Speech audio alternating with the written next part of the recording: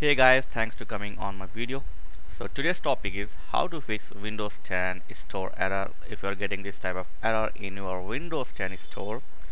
So before you do any hard work, let's try these two easy methods to fix this error.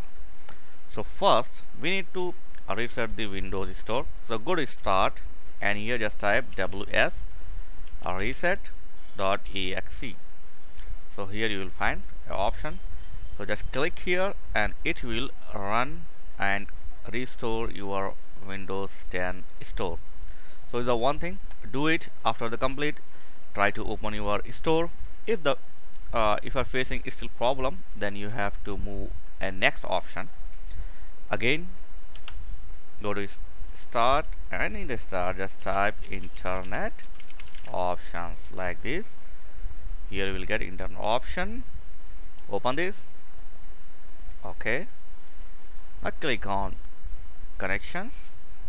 Now select the LAN setting. Okay. So you need to just uncheck this option like use proxy server for your LAN.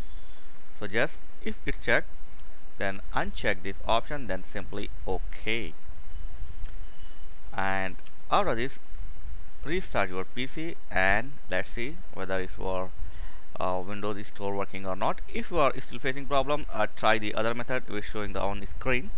So that's it. Thanks for watching. See you next video. Please like share and subscribe. Thank you very much